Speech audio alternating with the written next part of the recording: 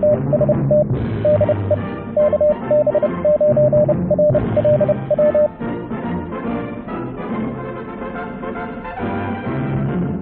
I've been working on the little magnetic loop build here behind me. You can see the little guy.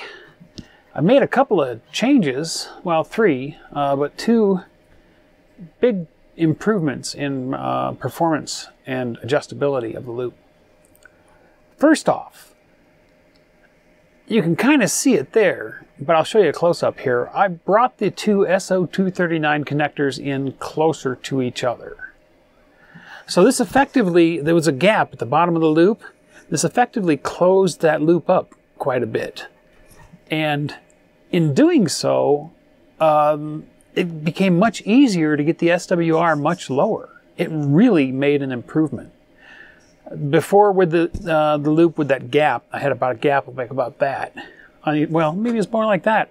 It was on either side of the capacitor where I brought the uh, ends of the loop in, which is a pretty common method. Um, if you look at magnetic loop builds, you'll see that the loop comes down to either side of the capacitor box, and you end up with that big gap in there. Uh, so I thought, let's bring those two closer together and let's close that loop up. And it made a difference. Um, before the SWR, I could get it down to, to below 1.5 to 1, maybe 1.3 to 1 um, pretty regularly, but it was difficult to get much lower than that. And when I closed up the loop, uh, wow, I, I can get it right down almost 1 to 1 now. Um, it, it made a big difference. The other thing I changed is the coupling loop. Uh, I made this form and this clamp to go on the pipe. So with my new uh, former for the loop, I got this clamp on here and this plastic form for the loop. And I can do things like I can shift it up and down and I can rotate it within the plane of the main loop to assist in tuning. Now that makes, uh, that, that adds a whole nother degree of uh, tuning and adjustability to the magnetic loop. And uh, I have found that there's no one size fits all for, for this. There's no one position that works best on every frequency that the loop covers. Even within bands themselves, I have found that on 20 meters, for example, down near the CW portion of the band, I got the best match and a nearly one to one SWR when I rotated the loop slightly out of plane of the main loop and had a gap of about an inch um, below the main loop. But up in the single sideband portion, it didn't match well like that, and I had to rotate it back within the plane of the loop and then move it up closer to the main loop. Uh, so just moving in frequency, I found that that I get the best match. It's not always in the same place. It's not always at the same distance or in the same rotation. Uh, so that's been that's been kind of eye opening. You know, most loops you build them, you have your coupling loop, you decide where you want it, and you leave it there. Um, I think making it adjustable like this is a really good idea because then you can fine tune even further. You know, if you're going to be sitting on a frequency and operating for a while, like you're doing a, a POTA activation, um, or you're going to be doing FT8, um, or something, you know, where you're going to be sitting on one frequency, having that ability to, to further fine tune that loop down and get it just right down there, almost one to one SWR, um, that better match is going to result in an increase in efficiency of the antenna, and and you're going to get out better, and you're going to hear better. Um, it's a small difference, but you know, especially with QRP loops, and when you're working with QRP or low power, every little bit counts, and, and you know, you want to you want to get those those extra few little small units of whatever measurement out of it. Um, so that makes a difference. Uh, I'll put these uh, files up on Thingiverse. There'll be a link in the description below for that form and the clamp. Now that clamp is designed for um, three quarter inch US pipe, uh, PVC pipe. If I, well, I got to figure out what common what common dimensions are for other people's uh, builds. You know, what what is a real common dimension that you use for plastic pipe for building things like this. Uh, and uh, if I if I find out what more common dimensions are, I'll put uh, put up more versions of the clamp size for different uh, dimensions. Uh, that was a stuttery sentence, wasn't it? So, did these improvements um, actually improve the performance of the antenna? Well, yes, absolutely. Uh, I did some whisper broadcasting. I had the antenna actually in the RV here, inside, where it usually doesn't perform very well, and I was transmitting only 500 milliwatts, half a watt, on whisper. Let me show you those results. Now remember, this was 500 milliwatts inside the RV, which generally harms the performance of the antenna dramatically. Uh, this is 20 meters, and as you can see, we got out pretty well, all the way up here into Canada, out to Colorado, California, up into Washington. So that's a pretty good footprint for half a watt inside the RV. I keep saying that, I know, but it's you have to understand when I put an antenna inside of here, this is an aluminum subframe and it mutes it. So I'm surprised it did as well as it did.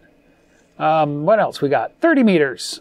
This was overnight, and our footprint is pretty good again. We got all the way out to the east coast of the US and up into Canada on 30 meters. I'm pretty pleased with that. But look at 10 meters. Oh boy. Again, I gotta say it, this was inside the RV, and we got all the way out.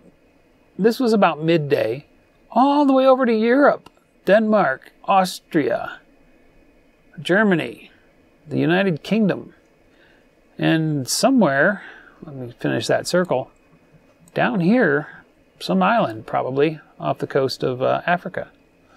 So that was 10 meters, half a watt with the antenna inside the RV. Pretty neat. The other thing I did, and you can kind of see it back here, let me show you a close up. I made a geared down transmission to drive the uh, tuning capacitor on the loop. And uh, I'm, kind I'm kind of proud of this. This was my first foray into designing gears in FreeCAD. And I actually designed these gears from scratch using the Gears workbench in FreeCAD. And uh, there's a, an extra little feature in here too. I made a clutch. Let me uh, give you a close-up look at the, uh, at the transmission and I'll talk about that feature. Okay, this is my geared down tuning for the loop. And you can see, you can see the capacitor back here rising up and moving. So I've got two sets of herringbone gears, and it's almost a 4 to 1 reduction. It's very, very smooth. Those gears mesh without any backlash at all. It's, it's extremely precise. No, no matter how tiny I move this, that gear is moving. You know, there's no lash. And inside of here, there's a clutch assembly. Here's a breakdown of it on the computer, there's these little nubs and these ridges inside the gear. And when the capacitor hits the end stop, to protect the capacitor from damage and to protect you from breaking the gears if you were really cranking on it and you weren't paying attention, or if your capacitor was inside of a box and you couldn't see it and you didn't know when you were going to reach the end. If you if you turn too far past the end, listen. Now you can see in there See that black piece? That's the, the output shaft clutch gear. Watch that when I hit the end. So you can see that black piece is not moving. The gear is moving over it. That's the clutch in action. And it works at both ends of the capacitor's range. If you hit the other end, it releases. So that's my little end stop clutch to protect the capacitor within this assembly. Pretty neat, huh? I'm pretty proud of it.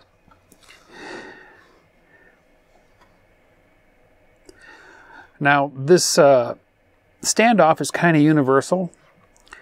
Uh, I made a little template so you could mount this on the front of your own magnetic loop build and, and center the capacitor shaft through there, and then you mount the frame and the gears and everything to that. It goes together pretty easy. I made an assembly video.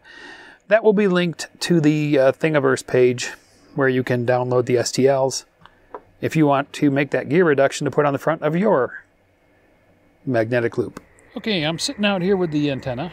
Um, on 20 meters, and just so you can see how even with the gear down drive, it is still very, very sensitive on tuning because they're so narrow. Listen for the static on the radio.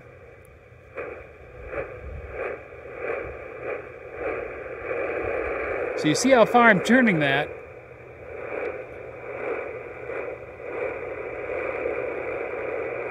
but it's still it is still very much easier than when I did not have the gear drive on there. Let's see if we can find somebody to talk to. Kilo Bravo 9 Radio Lima Whiskey. Uh, welcome to the group, and uh, can you hear me? Can I hear you? Go ahead. I can hear you. I can hear you. This is KB9RLW, Kingman, Arizona. 5 watts into a small magnetic loop. Over. He was in there very light. Kevin, go ahead. Call again.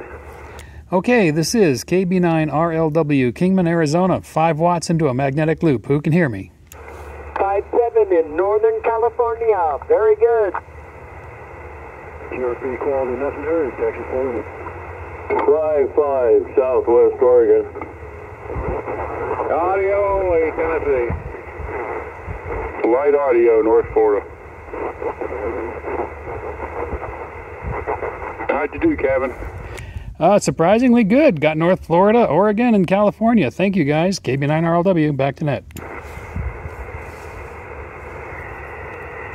All right, thanks for being out there. Okay, Tom. Cool. Yeah, I could kind of sort of hear something, but it wasn't quite sure. And I did It works. somebody up in Kansas. Uh, who's, who's joined us up from the state of Kansas? So there you go. Um, a couple of improvements you can make on your magnetic loop design that might uh, might well, I wouldn't say improvements generally. It worked in my case. Perhaps it'll work in your case too. Um, bring those SO239 connectors in closer together. Close up the bottom of that loop a bit, um, and uh, see the difference on on your match. And if you can make that coupling loop mobile, so you can adjust it, uh, you can get that little extra that little extra bit uh, out of your antenna and that better match. Hope you found that interesting, and we'll see you in the next video. Thanks for watching. If you enjoyed the video, don't forget to give it a thumbs up. Also, if you're not already a subscriber, click to subscribe.